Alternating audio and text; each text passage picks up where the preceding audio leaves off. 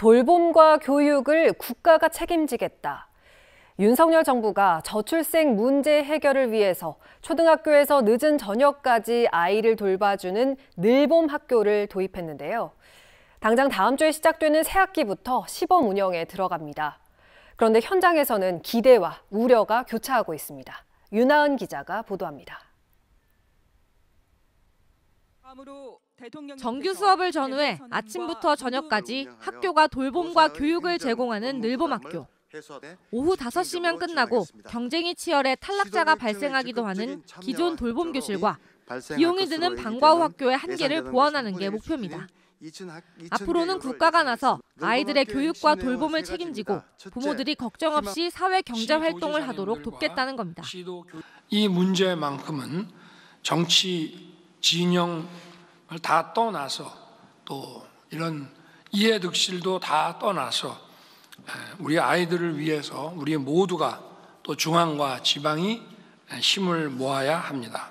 중앙정부 차원의 지원 체계를 구축하고 정부가 총력 지원에 나서겠습니다.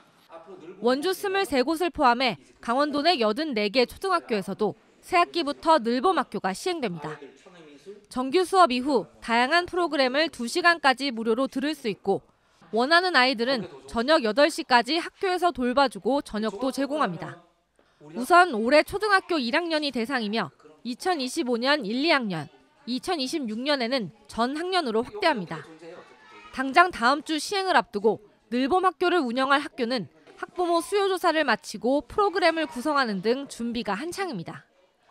하지만 혼란을 겪고 있는 곳도 많습니다. 여유 공간이 있는 학교는 늘봄 학교 운영을 위한 교실을 따로 마련하고 정비를 마쳤지만 학생 수가 많은 학교는 교실이 부족해 골머리를 앓고 있습니다. 고육 지책으로 당장 1학년 교실을 돌아가면서 비워주기로 한 학교도 있습니다. 선생님들 섭외실이라든가 이런 것들도 지금 부족한 상황이고 교실 수가 일단은 좀 부족한 상황입니다. 특별실 같은 것들이 너무 없어서 단계적 확대 시행 예정이다 보니 당분간은 한 학교 안에서 늘봄학교, 돌봄, 방과후가 혼재해 운영됩니다.